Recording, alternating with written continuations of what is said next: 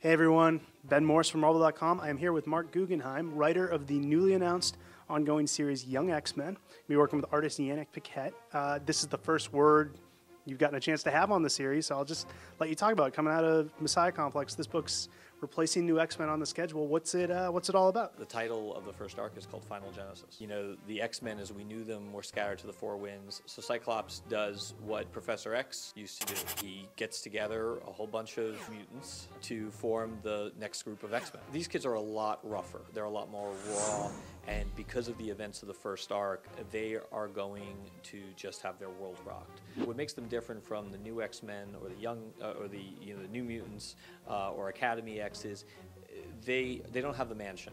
They don't have the support system. They are not being coddled. Uh, Cyclops is training them in the ruins of the old X Men.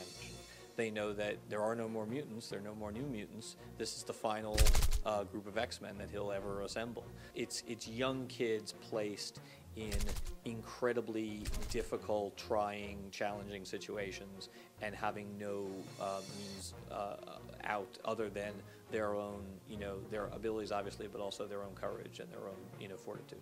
Now, this is going to be picking up some of the characters from New X Men, correct? Yeah, absolutely. I love I, I love uh, New X Men. I, I, I think uh, Craig and Kyle did an incredible job with that book. At the X Men Summit, when we were all sort of divvying up characters, I just cherry picked the ones that uh, I thought I liked the best and that um, I had a you know a, just a good mix with. Um, and I'm also adding a, a couple of new characters as well.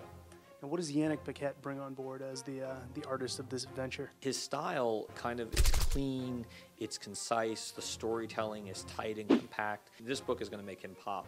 Very cool. Well, folks, you heard it here first. Young X Men is coming at you soon. For more information and more interviews with Marc, keep your eyes peeled here to Marvel.com. We're going to have plenty more about Young X Men coming at you.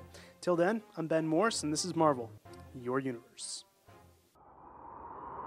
Marvel, your universe.